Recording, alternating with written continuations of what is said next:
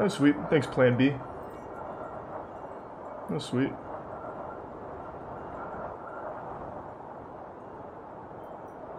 Thursday.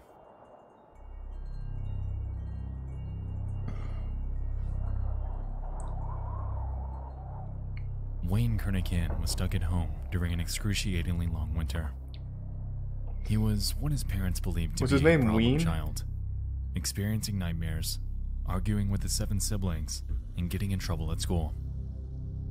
His parents' method of punishment wasn't the best.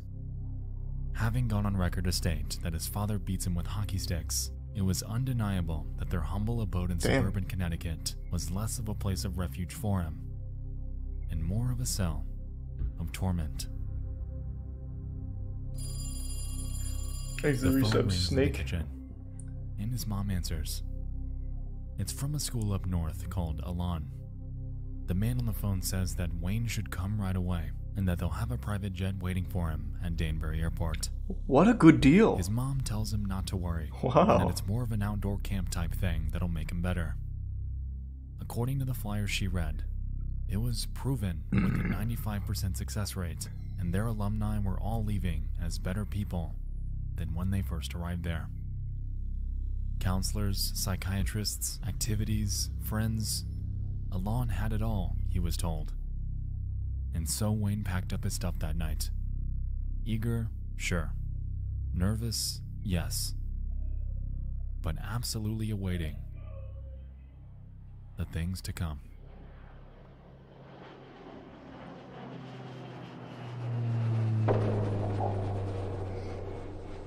Thanks, the resub The plane touches down in Portland, Maine. Two men greet him. After embarking for the school 30 minutes north in Poland, his escorts inquire on why he was sent there. Who made this vid? It's Nexpo. Drugs? Nope, Court order? no, So why the hell are you going? they joke. And then things get quiet. I keep seeing this one's fucked up. Wayne began to question whether he Why? was going to the place he thought he was. Cults are known to be pretty Something cool. Didn't seem right, but he was willing to give it the benefit of the doubt. Thanks, the Prime Soap. And the resub The two pull off a back wooded road into a clearing. Looks like a camp, he thinks. However, when he exits the vehicle, he isn't greeted with the silent serenity of nature, but instead, the screaming. Yeah, but that could mean anything. I scream when I'm having a lot of fun. Like, yeehaw, we're having fun.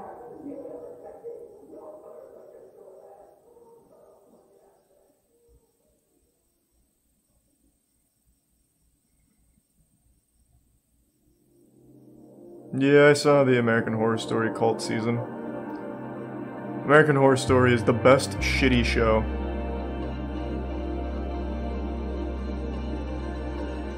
The 1970s were an interesting time. Across the United States, a rise in for profit behavior modification facilities were in action. Now called the troubled teen or tough love industry, it seemed to be a money machine aimed at altering and stifling troublesome behavior in adolescents. Well, The someone's exact got date is hard to gauge due to the widely varying nature of the names, motives, and specialties of each of these schools, but they were widespread and only became more so throughout the 80s. It's widely believed that the parental reception to the era's youth were the catalyst for facilities like this. Given that this was the decade following the rise of the hippie subculture, authority was and had been challenged for years. That facial hair is kind of nutty. That looks cool. It's like Wolverine, but not cool like Wolverine's. It's like a little cushion. That's nice. That's like an OG neck beard. resulting in a sort of panic among older generations. Resultingly, in early 1970, a psychiatrist Thanks named Gerald resub Davidson, Finca. alongside investor David Goldberg and a man named Joseph Ricci, would band together to create a school named Elan, a private co-ed behavior modification program geared from grade 8 to beyond high school. Ricci billed the facility as one that would correct bad behavior by teens without punishment, while painting himself as a genuine mentor that could help make that happen. They had a website? 33 acres of land off of Number 5 Road in Poland, Maine. Elan's main campus was highly secluded and a long shot from any outside civilization. With numerous facilities in place, the school was well equipped to handle a student body in the hundreds, and within the span of just one year, they'd eventually meet that metric. Numerous alumni, much like Wayne, have gone on record to state that their initial, outside impression of the school was that it was like a summer camp in the Maine woods. However, Looks like a upon summer camp. reality would paint a different picture. Allegedly, the final minutes of the trip there were unforgettable, with Elan being Thank shrouded down a long dirt Jibu road in the middle of the wilderness, and made up of rundown trailers and buildings, giving it a frightening feeling of dread. Furthermore, some have stated it does look like Crystal Lake. vehicle expecting a lively campground, they're instead faced with a sight much stranger. Some students were spotted wearing degrading signs, some shackled in handcuffs, What? some being yelled at. And bizarrely, everyone would just pretend it's normal. At this point, They take discipline very seriously. to flee. They weren't entirely sure what the Elan school was, but it was clear to them that it wasn't good. These escape efforts were always futile, though, as Elan stationed guards around the campus to chase and subdue outliers that would attempt this. Considering how the school was marketed, touting itself as an altruistic institution genuinely concerned with helping troubled teenagers get better, it was clear from the outside that those claims were a reach. Is that Charles Manson teaching the class? But Man, they got just how far celebrities they teachers. Good for them.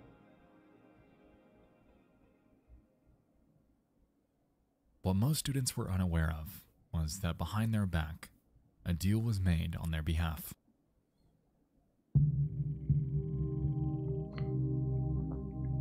With nothing but a simple signature and do we sub payment, parents could sign their child's life over to Elan, which advertised itself as a positive, reaffirming center of growth.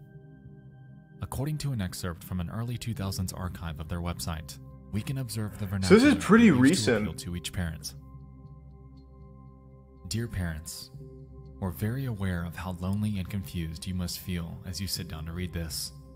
If you're like the parents of most of our students, you're faced with an adolescent whose behavior is out of control and you don't know why.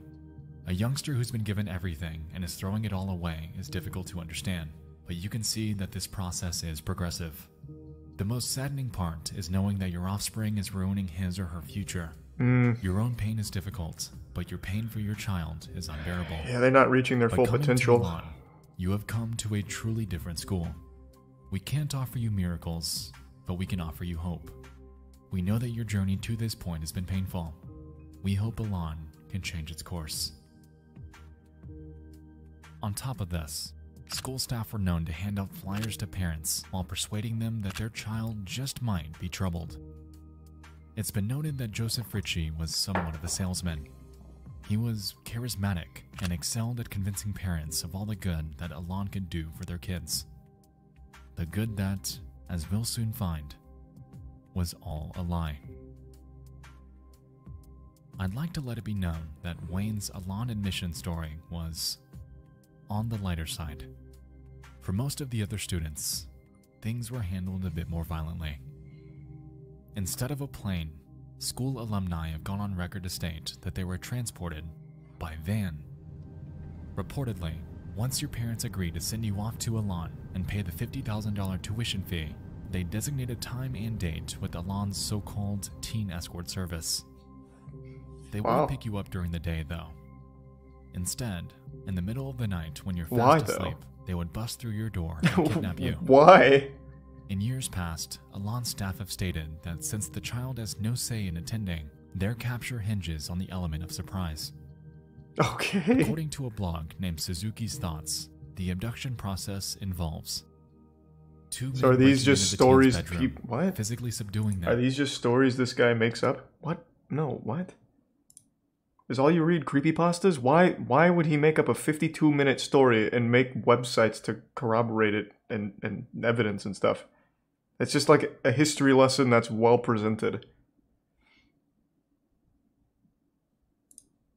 tying them up with plastic handcuffs, throwing them into a van, and then driving them to Poland, Maine, where they'd be handed over to the Elan School.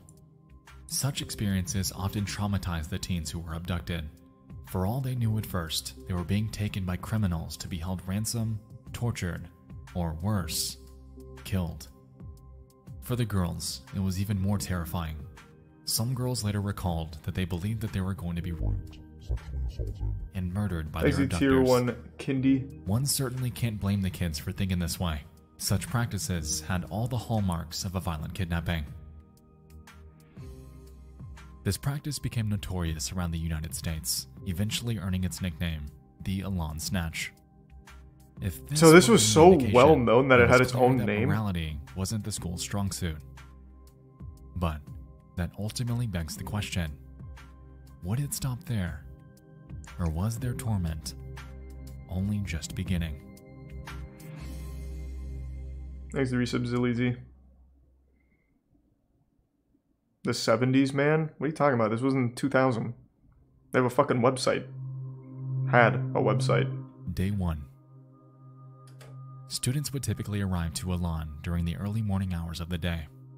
Oh, it started in the 70s. Oh, gotcha, gotcha, gotcha. I see what you're saying. To resist their escorts. I see what you're saying. It's Sorry. noted that their capture was designed this way, utilizing their escape attempt against them as a tool to convey that no matter what, they're not getting out of there. And with this came the first steps of dehumanization, instilling the feeling that their basic rights have been robbed of them, in turn making them feel like less of a student Thanks to resub and more like a prisoner. Well, they did just get kidnapped. This sentiment was taken even further when they're physically taken inside the school. Often, the first stop would be the dormitory showers, which served as a tool in robbing each student of their sense of individuality. Reportedly, students are thrown into them with absolutely no privacy and are demanded to remove all of their clothing and valuable items. After complying, they're given what Elan calls no image clothing, which, as the name implies, simply includes a bland, colorless shirt and pants, effectively forcing them into a state of conformity. Well, let's not get carried away. The, a white t-shirt's pretty each new cool. student would be taken into a common area where they were I, I wouldn't necessarily look too deep brother. into that. This, in essence, was a tenured student designated to be a guide.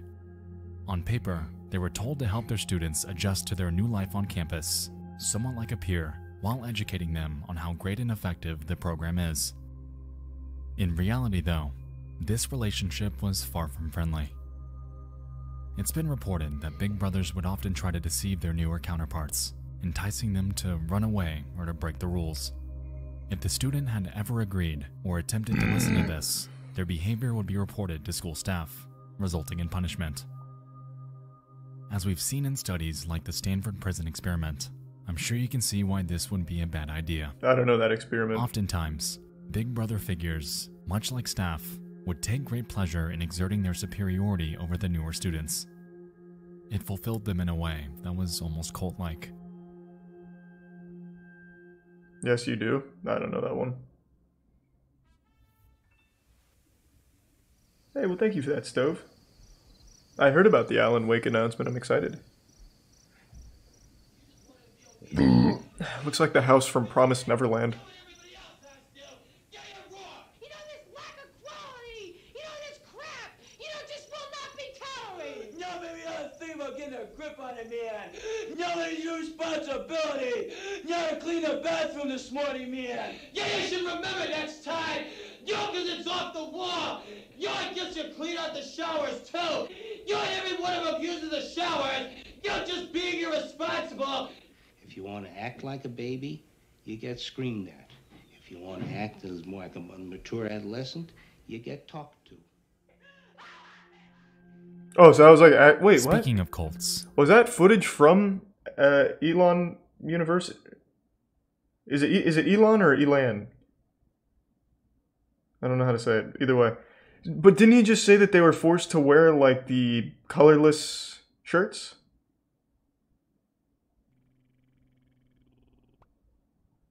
Next to the resub Jeski, Coral, Pablo, and Prime Bus. Cause that guy, like that second guy, he's kind of dripped out. He's got a chain on. He's got a red button up. Oh, that was staff. Gotcha. The social hierarchy at Elan is structured in a way that heavily resembles one. At the school, like students Professor are immediately Snape. placed into two categories. Strengths, which were tenured, obedient students that were a few steps up the totem pole, and non-strengths, the newer ones who typically resisted treatment. Strengths were allowed to talk to fellow strengths and non-strengths. Non-strengths, on the other hand, were only permitted to communicate with strengths. If a non-strength were caught communicating with a non-strength, harsh punishment would soon greet them. Thanks to resub mob. And the 2K bit Sam, I appreciate that. The Elan School, as we've established, Thank you for thrives on the feeling of hopelessness. Throughout students' tenures there, they were forbidden to contact anyone from the outside world unless they've earned the privilege through good behavior and compliance. Every single phone line from campus would run through a single switchboard located in this small trailer, and it was heavily guarded because of that. If a student were to gain the privilege of contacting their family, it's been reported that they're heavily monitored, only permitted to praise the school for all the good it's done to help them during their time there. If they ever were to be caught telling the truth or revealing the atrocities that occur behind the scenes, they were quickly disconnected, reprimanded, and robbed of any future potential. So if this is supposed to be a scam, again. I feel like this is a lot more effort than just On top not of the phone manipulation, doing this. Every Elan resident was It seems like so much more work to abuse the kids. letter, which, as you might expect, is an explanation of how great the Elan school is for them, all the great activities they do there, and how well they're progressing through the program. These letters would be heavily scrutinized before being mailed out to their parents. Effectively, this tactic's goal was twofold. To allow Elan's facade to remain in place, resub Hoof, and to entice Chris, their and five to spend more money on their tier one treatment, Aria. in turn keeping them there Thank even Sage. longer than they had ever planned to. Akrai. In reality, students were helpless, being abused, and in most Yeah, I get that it's a cult, verbally but usually cults have a purpose. Of the Elan school staff. It was clear to students that they weren't getting away from this anytime soon, and after realizing this, their minds would often pivot away from rebellion and towards compliance in hopes of power. Yeah, money. program. I. That's why I would think This they'd want to run a to scam as opposed to a cult, and it'd be so much easier to ultimately not abuse the system that will kids. Takes a lot more work to do that, I imagine. To make their escape impossible.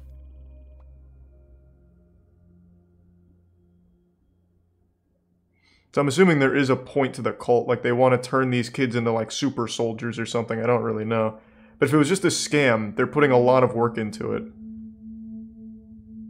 Whereas they could just take the kids here for 50k a year and As just let them play basketball the and sleep. The Elan School were immense, exerting nearly totalitarian control over everything that happens. Joe Ricci's set of rules, which he called guilt, was gargantuan and needlessly meticulous. Maybe tier 1 Wheelu. As a student at Elan, you would be expected to refrain from doing the following having any image, reading as a non strength, not completing learning experiences, writing without permission, being sideways, what looking at means. security zones, non strength interacting, talking too loudly, talking too softly, looking at the opposite gender, Whoa. being attracted to someone, Whoa. any physical contact, looking out windows, What? unauthorized drawing, not listening to higher Holy ranks, shit. pretending to sleep at night, thinking of running away, being in the bathroom for too long, wearing dark clothing, being manipulative, being lazy while working, listening to music, talking too much, showering for All in all, they're 10 pretty minutes, lenient. not talking enough, making facial reactions to orders, negative body language, pretending not to have guilt, oversleeping, undersleeping, smiling, and the list goes on and on. That's not bad. Clearly, these rules were not designed to be followed. Basically a lawless place over there. to become commonplace. To help enforce these, individuals known and as expediters were designated by the school to stand on watch with clipboards.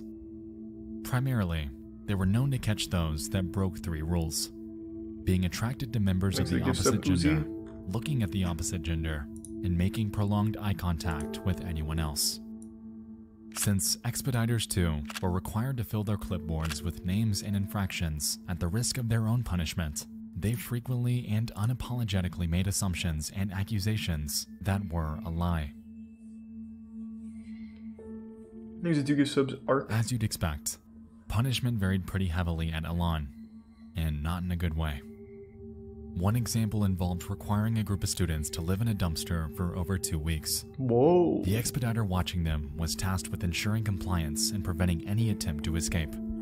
If their subordinates acted out, however, the expediter on duty would be forced to live in the dumpster with them while being monitored by yet another who was up to the task. Another Wow. major tactic at Elan Jesus. was humiliation. They figured that by breaking down their social barrier, forcing students into extreme embarrassment, they could drive them to a point of total compliance.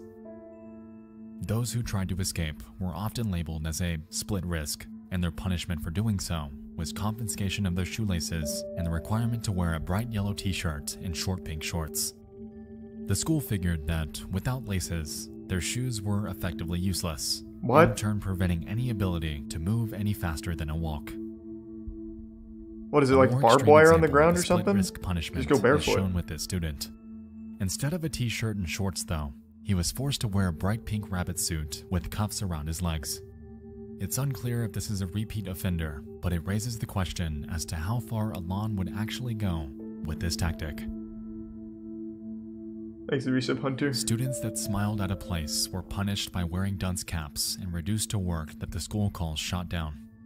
These involved repetitious, dull tasks like mopping floors, scrubbing the insides of trash cans, and even cleaning toilets with just a single toothbrush. for Man, if I went to one of these end. fucking schools, if my parents If sent me here, I would never forgive them. Down, it's been noted that approval by sometimes six or more superiors was required before you were able.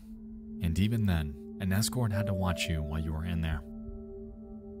This, on top of a myriad of other degrading punishments, Makes you some like humiliating sign and diaper wearing, it's clear that Elan kept an iron grip on their daily operations. Their daily operations that took up most of the daily schedule, and those that were deceptively named by the Elan school themselves as their treatment. Makes it a bit savage. Give sub Ethan. But I will say, all of these punishments are relatively tame compared to what we're about to talk about. Let's just say, if you pissed off a staff member, they could start something called a general meeting on you. And trust me, you wouldn't want one. That doesn't sound so intense. Well, we're just gonna debate, huh? There seemed to be no standard for them. They would just happen at random, multiple times each day. If staff were There's a tier one annoyed or felt like targeting a specific student for some reason, they could call a general meeting at any time. Once these words were uttered, everyone in the building would be required to gather in front of the we student get some in whichever kiki. room they were in.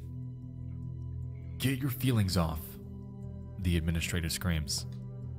And following this, each student in the room would begin screaming at and berating the student, firing off slurs and obscenities. Oh, so it's like hour Twitter. No matter how much Pretty innovative. pled for everyone to stop, no matter how much they broke down, no matter how much they cried, general meetings would not end until the admin said so. And when it finally did, the victim would lie there, often crying and exhausted at the relentless abuse that they'd just endured. it's clear that general meetings aren't designed to reprimand. They're designed to completely break each and every student that's the subject of one. And with this, we can effectively put the points together that Elan was doing nothing more than running an operation that commanded total compliance. Any self-thought or Teddy. sliver of independence that students thought they had True, was Teddy. gone. They were merely reduced to weapons. Weapons that, at a moment's notice, could just as easily be used against them.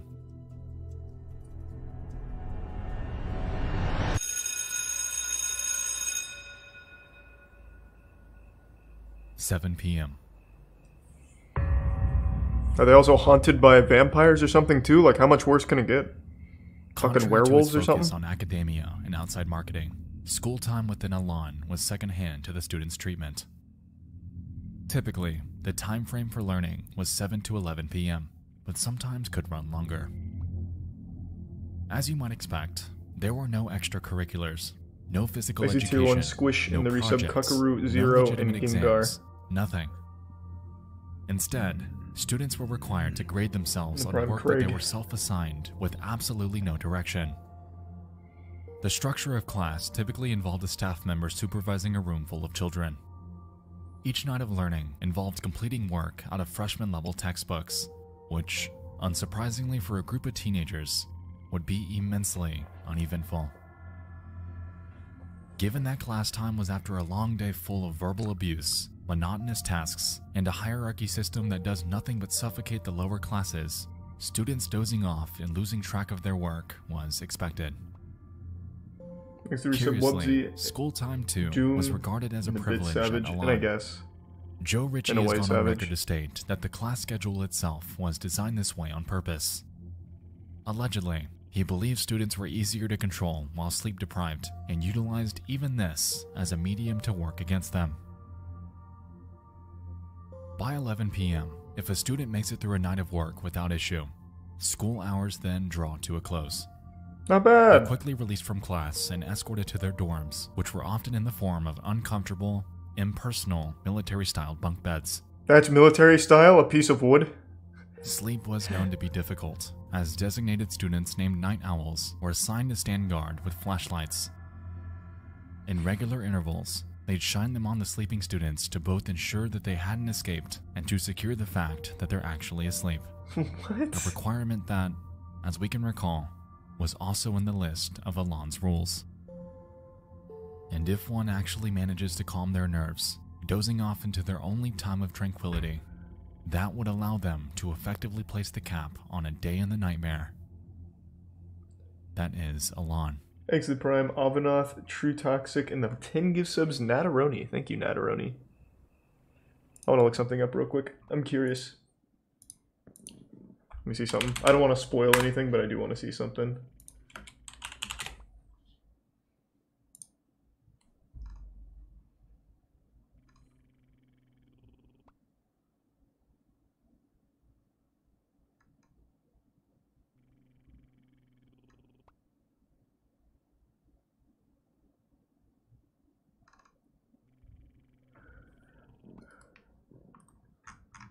I just want to see if like the main guy behind it's still alive, but I don't want it to be a, a spoiler either. His name was like Joe something, and I forgot, so I'm trying to find it. It says I don't think it's Joe Rogan, but it keeps wanting me to type in Joe Rogan. It was like Joe something, Ricci. That's what it was. Thank you.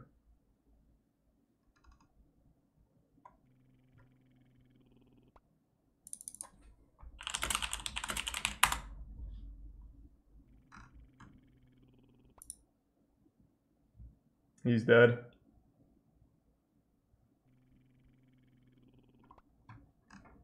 Damn.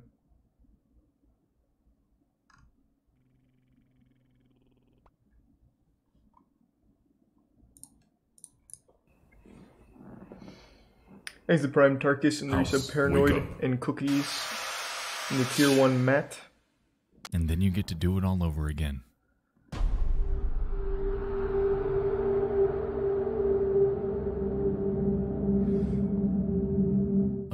Notorious aspect of Elan, among everything else that happened there, was something called the Ring. Considered the highest level of punishment, Elan staff could make the call to start the ring at any time. The structure was set up similar to that of a general meeting and was typically commenced when school staff believed that the punishment wasn't harsh enough for a specific student. Oh, I gave them safety equipment. In the ring, a student's designated as a bully and is outfitted with a face guard and gloves. Surrounding them are troves of others that are commanded to scream and yell obscenities at them. While this is taking place, specific students will be chosen to compete against the bully in numerous fistfights until school staff decided that they were sufficiently injured. No one was safe from the ring either. Some bore pre existing injuries, some were much smaller than their opponent, and some were even pregnant. Wait, what? Even worse, things seem to be treated like a game, with superiors commentating. This is only up to high they were on school. TV. In reality, How are the. This was the furthest. Wait, I'm super curious then. So, how were some of them pregnant? Because you're not even allowed to look at the opposite gender. And assuming that you lived here for a year, how would you get pregnant? That makes no sense to me. I guess if they could have arrived pregnant, which would check out. Staff? Oh, by the I see what you're saying by the staff. Right, right, right, right, right. Exit prime material. I keep forgetting that there's actual adults behind this because it looks like it. It sounds like they literally only appoint the students to do everything here. It's like Lord of the Flies. This thing from TV. This was handcrafted abuse. Elan was meticulous about orchestrating fights for the ring, too. It's been noted that certain students would regularly be punished for another's actions, effectively engineering anger between them. This was often noticed between big brothers and their subordinates, as they'd be punished for the actions of their newer counterparts. And once they were angry enough, a ring fight would commence, often injuring one students so badly Imperial that they'd Man? sustain permanent brain damage, PTSD, and even death.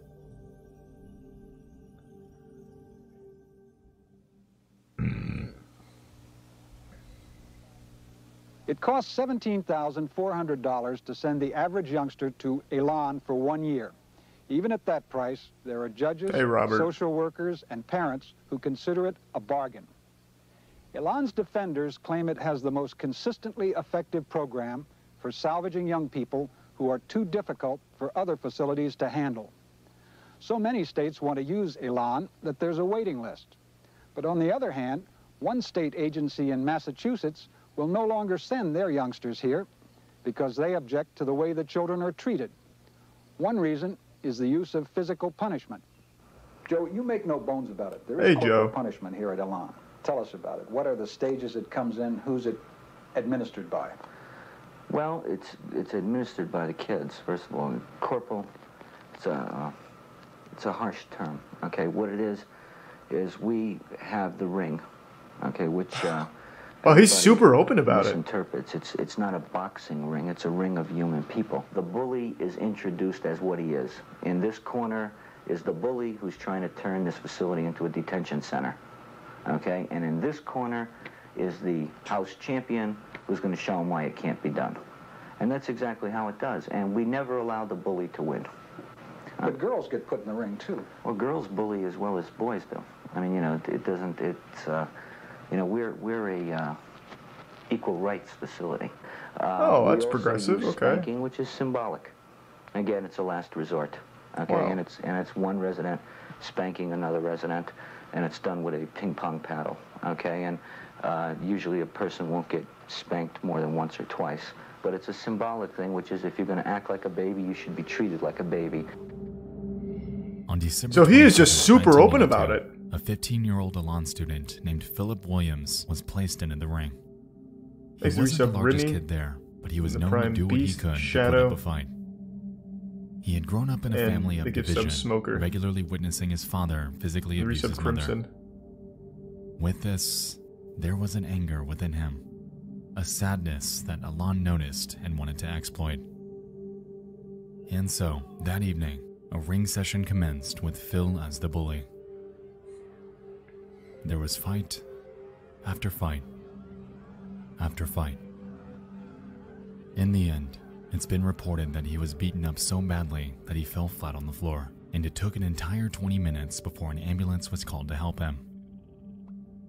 20 minutes or so, they called the ambulance. They took Phil and they never saw him again. His sister claims. I thought it was a wonderful place. I thought they were helping my brother. I thought he was coming home like, how can you think that when they actually kidnapped alright. him? in a box. Like, I don't get that delusion. Elan's Their technique was to kidnap was them. that he had regularly faked headaches. The cause of death? A brain aneurysm. And no charges were ever filed against them. It's been clear to us from the beginning that Elan is not a place of good.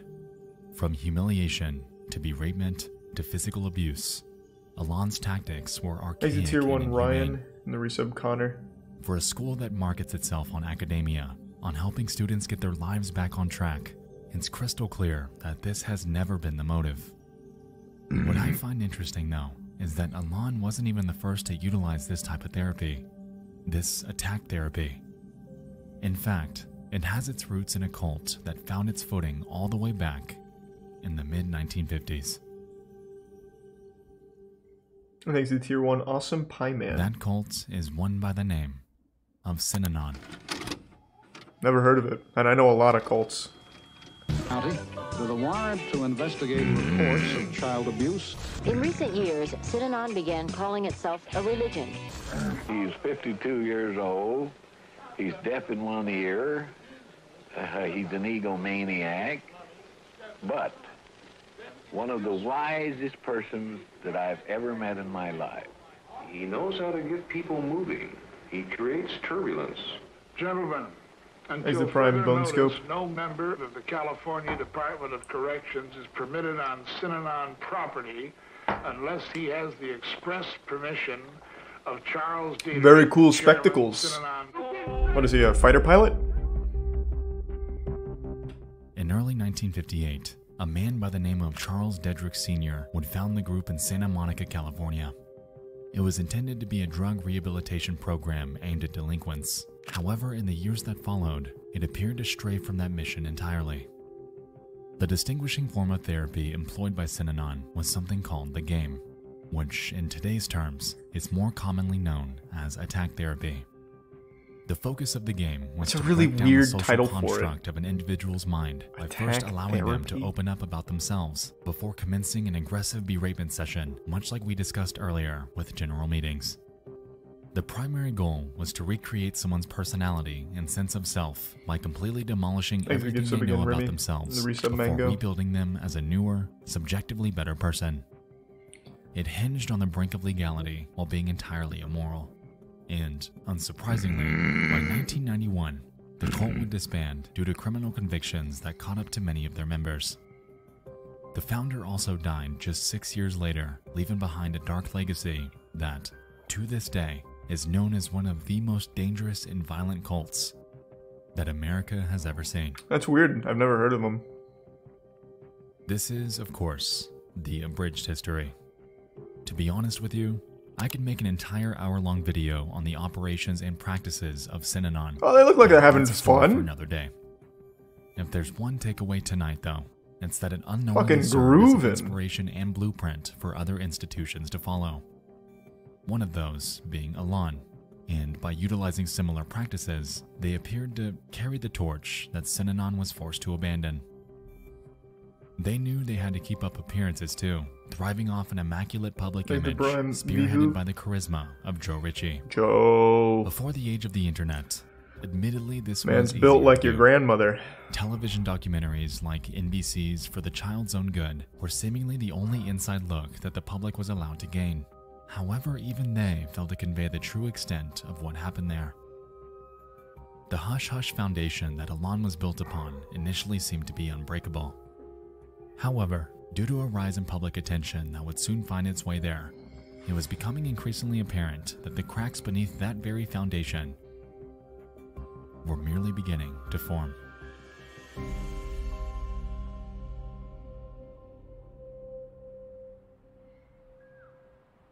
Is it Prime Pink?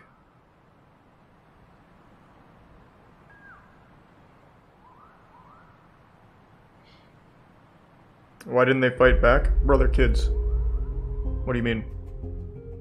Through the late 70s and into the early 80s, reports of the true nature of Elan began to spread by word of mouth from former students.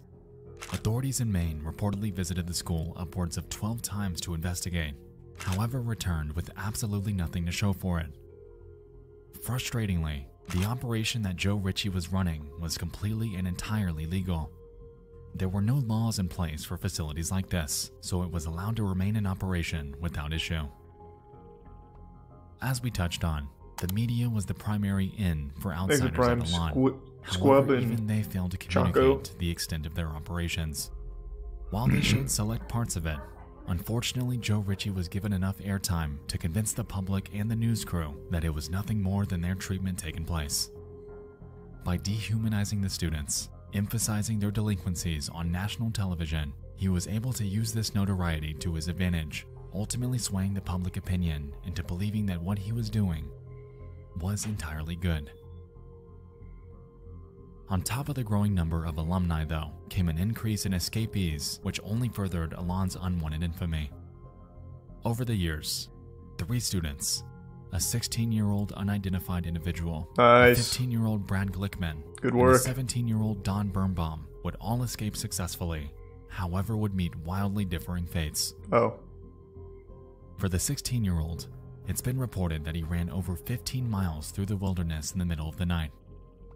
He was eventually caught by an officer, Max Ashburn, and after hearing the boy's story and observing his physical condition, he helped him return home. What a good guy. For Brad Glickman, he was shot. Oh. In 1990, after escaping Elan's search parties, What? he made his way to a house in a small town. Authorities believed that he had a connection to the girl that lived there. However, the homeowner opened fire, ultimately killing him. What? Uh. What? That's like the most American shit I've ever heard in my life. Uh, this guy must know my daughter. like, what? Jesus Christ. Actually, two give subs Kill Command and the resub Terra in Tier 1 Summer. And for Dawn Birnbaum, How she unlucky. too had escaped the clutches of Elan, eventually finding a trucker named James Cruz who was willing to take her home. A few hours down the road, though, Birnbaum would find that Cruz's true intentions weren't quite so virtuous. Oh, Jesus. As it turned out, he sexually assaulted her on the side of the highway before strangling and abandoning her body between routes 26 Holy and fuck. 550 in Pennsylvania.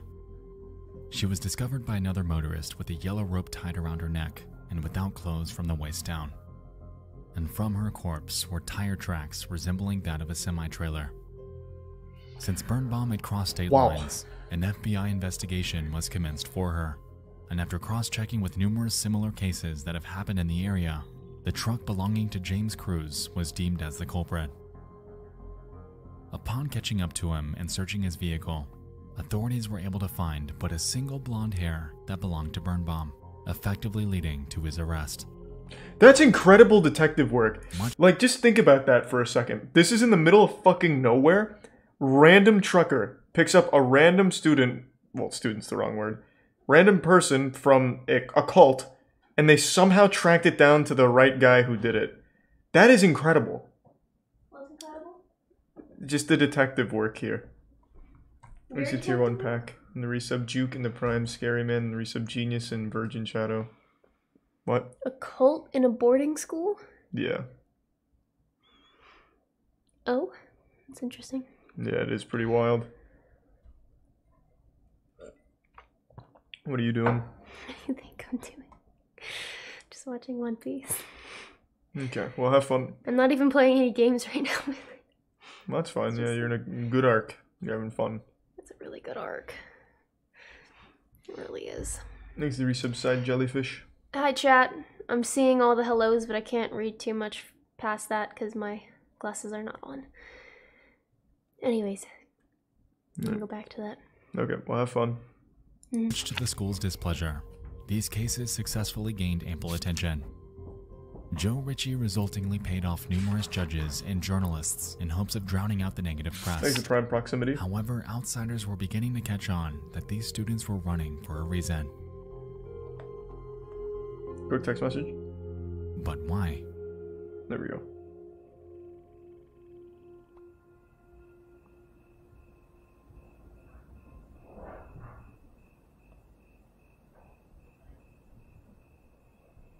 Okay. All good. To the resub Adventure Creature On the Mumbling night Plot of October Prime 30th, Nico. 1975, a 15 year old girl named Martha Moxley was out with her friends participating in what they call Mischief Night. This typically involved TPing houses, ding dong ditching, typical teenager antics. Later that night, hmm. Moxley found a liking to a Thomas Skakel, eventually kissing him before the pair decided to venture off. To the other friends in their group, seeing Moxley fall over the Skakel's backyard fence with Thomas was the very last time that they would ever see her alive. The next morning, the Moxley family awakens as usual. They go about their morning routine, however, notice that Martha is missing. Upon searching the house for her, they notice a body lying by the tree out in the backyard. And They don't really have one stoner boner. and discover a grim scene. Martha is lying, lifeless with her pants down. Her body appears to have been visibly beaten, and a few feet away from the body, broken remnants of a six iron golf club. Holy This shit. This club was eventually traced back to the Skakel family. Autopsy reports claimed that she was bludgeoned and stabbed to death, all by that six iron. And since Thomas Skakel was the last person she was spotted with that night, he was the prime suspect in her murder. Due to a lack of sufficient evidence, however, he, among the other suspects, were eventually absolved. What? And as a result, the Moxley case, frustratingly, went cold. Thanks to Tier 1 Rowie and the Risa Brian.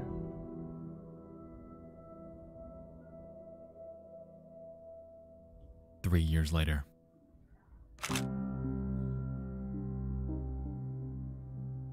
Thomas's 18 year old brother, named Michael Skakel, is arrested for drunk driving.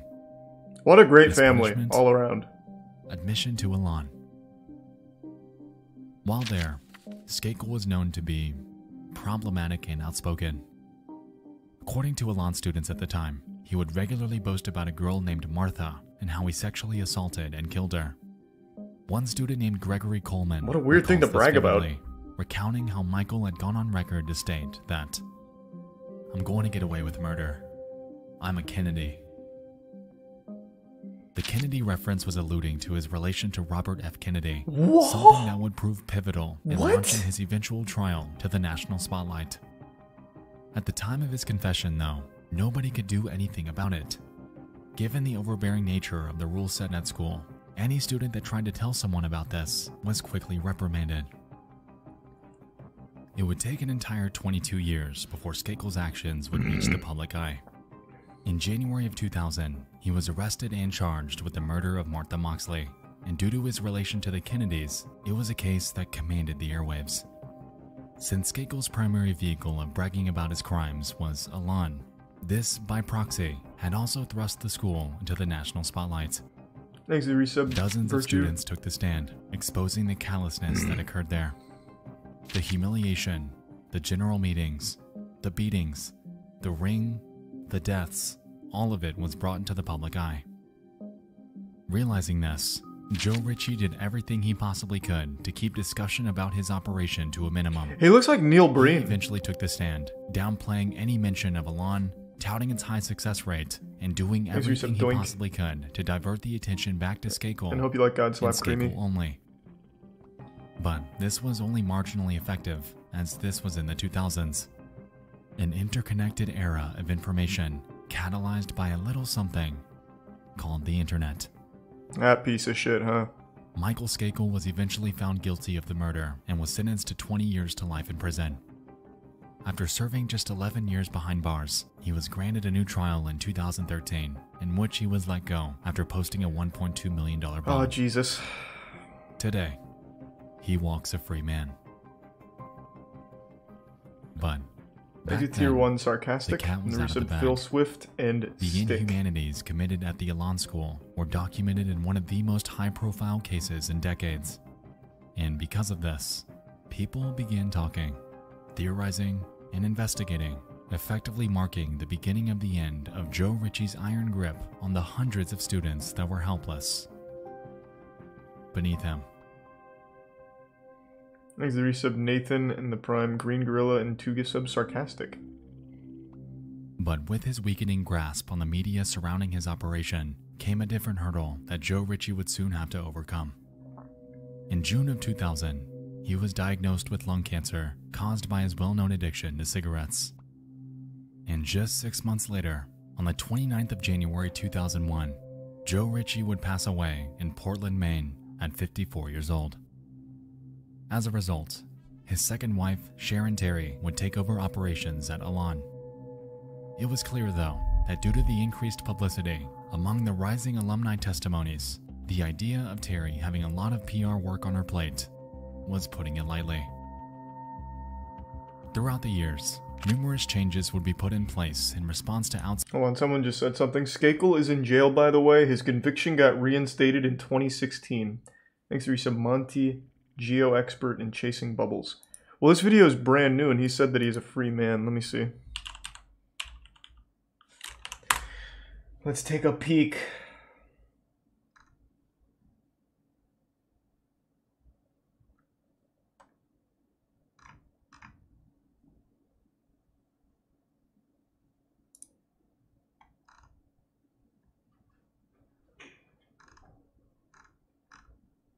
Mm.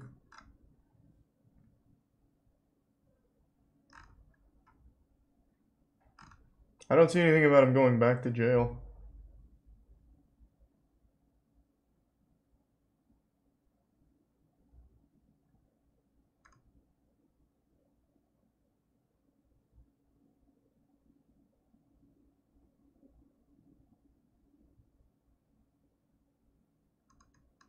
Yeah, there's nothing about him going back to jail. Literally nothing.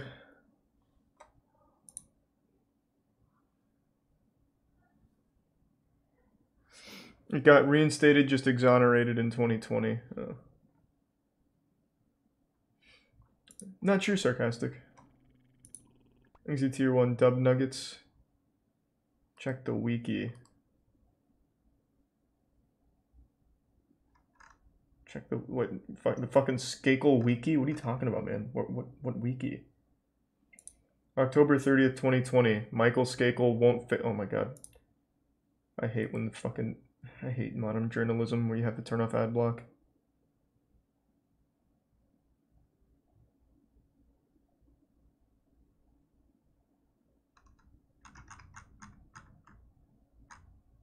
Yeah, I don't see anything about him going back to jail.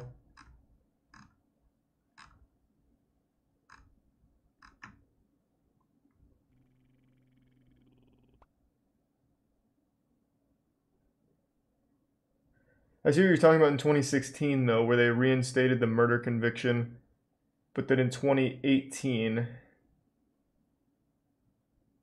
it seems they vacated it.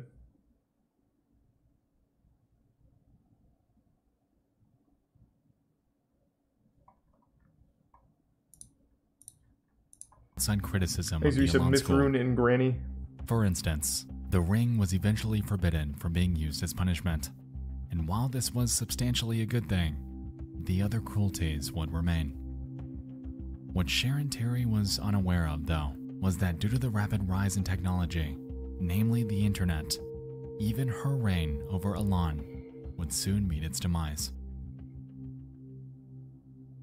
When the water settled following the Skakel case, mentions of Elan were made on various forums throughout the next few years. They would get people talking, however, it wasn't quite enough for definite action. By 2010, though, something would change. A website that we all know very well would help spearhead one of the most effective exposed stories in the history of the internet. I want to take a guess. I don't know the story, but I want to guess. Is it something awful? Something awful used to be pretty powerful. No way. Is it Reddit? God damn it.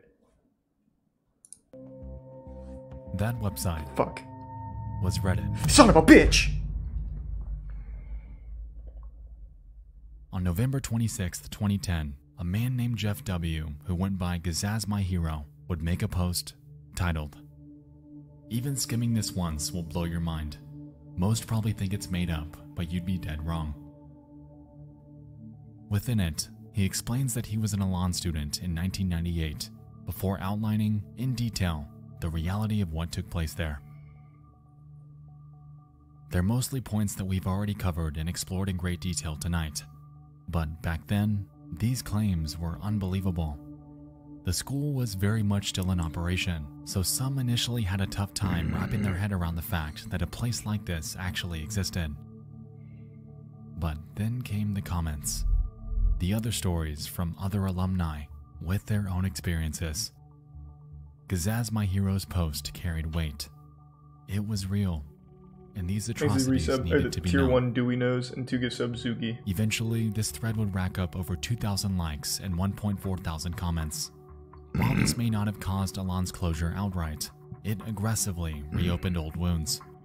2010 was not 2000. The internet user base was exponentially larger than it had been, and resultingly, the effectiveness of this newfound attention caused a massive amount of backlash that the Elan School had never before experienced. Thanks, three sub chimeras. Four months later, on the 23rd of March 2011, the Elan School announced that it would soon be shutting down. Sharon Terry blamed the call on what they deemed to be libelous remarks made about them online. The school has been the target of harsh and false attacks spread over the internet with the avowed purpose of forcing the school to close. The school, unfortunately, has been unable to survive the damage. Shucks.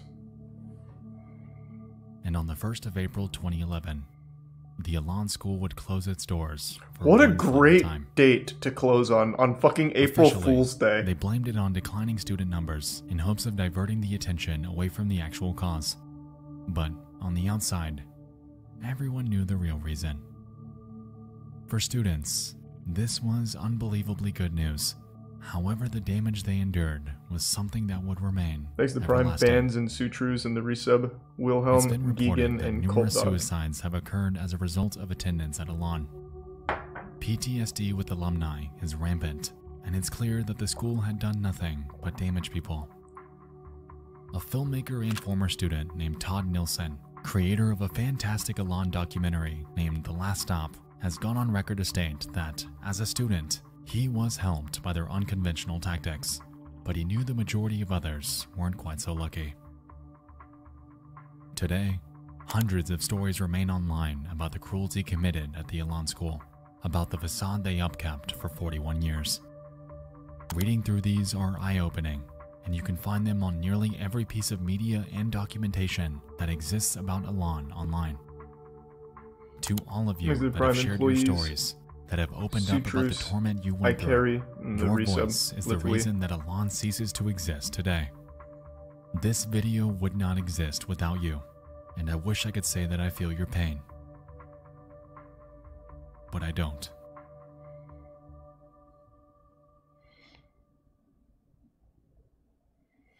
What's Sharon Terry up to? Let me take a peek. Sharon Terry, what's going on?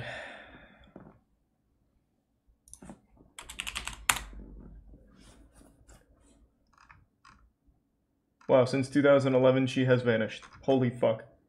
Her spirit was trapped in Elan and when it closed down she just ceased to exist. Holy fuck.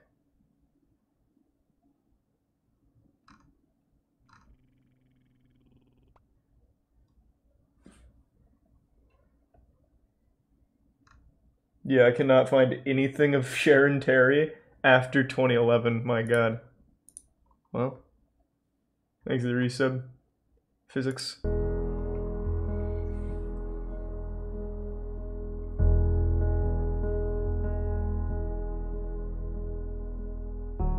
While there are and have been other facilities like this throughout history, those are another story for another time. The legacy that Elan left behind is a dark one. Knowing the true history of what occurred off Number 5 Road is haunting. And no matter if it forever stands physically, the psychological destruction that it left behind will very unfortunately forever remain. Thanks the resub Bloviator. That was good. That was a very interesting story. God damn, that was fucking intense.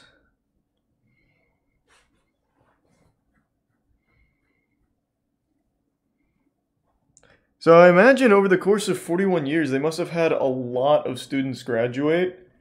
And I'm really surprised that it took Reddit to be the one to finally shut that shit down. From one post. Thanks to the resub wingman and eat on him.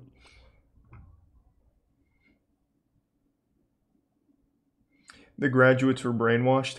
That's true. I guess it's hard to really understand that perspective since I obviously wasn't there for the brainwashing.